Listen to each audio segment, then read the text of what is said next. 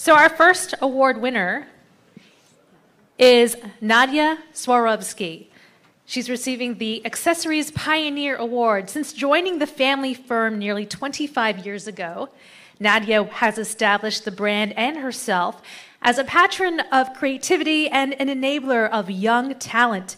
In 2007, Nadja launched Atelier Swarovski, a jewelry and accessories line which celebrates creativity, innovation, and craftsmanship. Since 2012, Nadja has spearheaded Swarovski's sustainability strategy and overseen the company's corporate social responsibility initiatives. I can, I can vouch for that. She has beautiful beautiful jewelry, and she really does speak highly of sustainable jewelry. Right? With her guidance, Swarovski crystals are now recognized as the greenest on the market because of the company's long-standing commitment to ethical and sustainable practices throughout its manufacturing processes. A dedicated philanthropist, Nadja set up the Swarovski Foundation in 2013 to support charitable initiatives and organizations working in three areas culture and creativity, promoting human empowerment, empowerment and conserving natural resources. She also champions gender equality on international platforms and uses the company's brand visibility to promote women's empowerment. Swarovski is a signatory of the United Nations Women's Empowerment Principles and part of the UN Women UK National Committee Corporate Advisory Group. In 2018, the company supported a research program with BSR, the Business for Social Responsibility, to explore and improve the lives of women in the jewelry supply chain. Everyone, please welcome me or join me in celebrating Nadja Swarovski, the recipient of the Accessories Pioneer Award.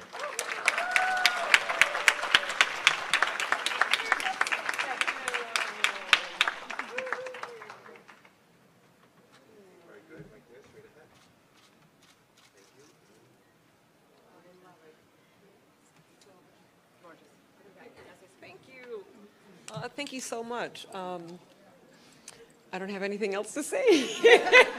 no, in any case, I just wanted to say I'm so humbled and honored about this. Wendy, thank you so much. And actually, I would like to really shed the spotlight on you. I think it's amazing oh what you have done and um, for having created this platform for uh, women to be recognized and acknowledged. And I think also for emphasizing the voice and giving women the voice um, to express the various different elements of their lives and, you know, the hard work that we all have gone through. Um, I have to say, sometimes it does feel that women have to work twice as hard as men do, which we, of course, love and adore. Um, and that's why it was also very important for us to sign on to the UN Women Empowerment Program, which is um, very much for women, never against men, but pro woman, but actually pro mankind. And that was really my mission moving forward um, in my career in the last 26 years at Swarovski, and now forging ahead um, by myself individually, setting up my new fund. Um, in this new fund, my previous job, crystal, was the sparkling ingredient, but in the new chapter for me, it will be sustainability that is that sparkling ingredient.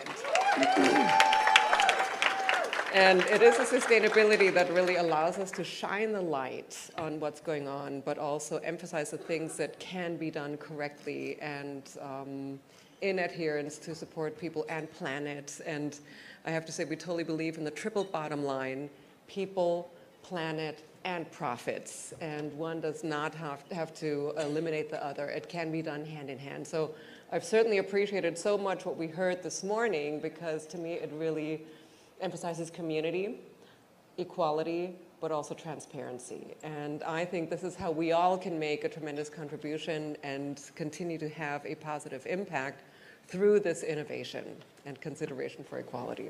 So thank you, Wendy, and thank you, everyone. And I also wanted to say thank you to my fellow nominees. You, I have many more new role models. Judy, it's been such an honor to have met you. You're amazing. And I just want to thank everyone here for their amazing work. Keep it up. Never give in. And, you know, the sky's the limit, and the community here has your back. So, lots of love.